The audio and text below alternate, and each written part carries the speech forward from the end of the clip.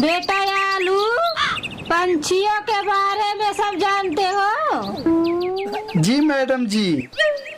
अच्छा ये बताओ कौन सा पंछी उड़ नहीं सकता? मैडम जी इसका उत्तर है ना मरा हुआ पंछी जो कभी उड़ नहीं सकता।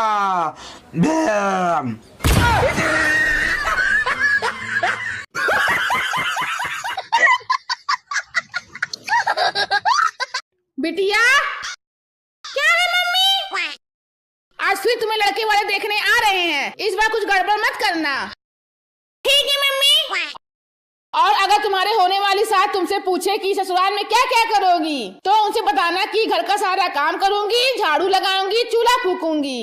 और अगर समय मिलेगा तो पति देव के लिए पुराना स्वेटर उधेड़ कर फिर बीनूँगी, ससुर जी के लिए गरम तेल में पकौड़े तलूँगी, सासू माँ आपके लिए बड़े गले का ब्लाउज काट कर फिर सिलूँगी। ठीक है, मम्मी। बड़ी सुंदर बिटिया है आपकी। और बताओ, बिटिया शादी के बाद ससुराल में क्या क्या करोगी?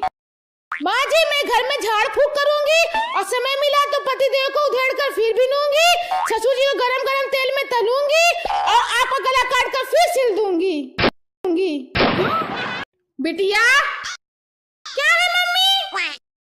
आज फिर तुम्हें लड़के वाले देखने आ रहे हैं। इस बार कुछ गड़बड़ मत करना। ठीक है मम्मी। और अगर तुम्हारे होने वाली सास तुमसे पूछे कि ससुराल में क्या क्या करोगी तो उनसे बताना कि घर का सारा काम करूँगी, झाड़ू लगाऊँगी, चूल्हा फूकूँगी। और अगर समय मिलेगा तो पति देव के लिए पुराना स्वेटर उधेड़ कर फिर बीनूँगी, ससुर जी के लिए गरम तेल में पकौड़े तलूँगी, सासू माँ आपके लिए बड़े गले का ब्लाउज काट कर फिर सिलूँगी। ठीक है, मम्मी। बड़ी सुंदर बिटिया है आपकी। और बताओ, बिटिया शादी के बाद ससुराल में क्या क्या करोगी? माँ जी मैं घर में झाड़ फूक करूँगी और समय मिला तो पति देव को उधेड़ कर फिर बीनूँगी ससुर जी को गरम गरम तेल में तलूँगी और आपका गला काट कर फिर सिल दूँगी। दूँगी। सर जी नमस्ते।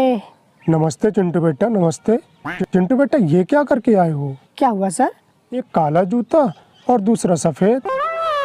जाओ घर जाके चेंज करके आओ। सर कोई फ़ायदा नहीं।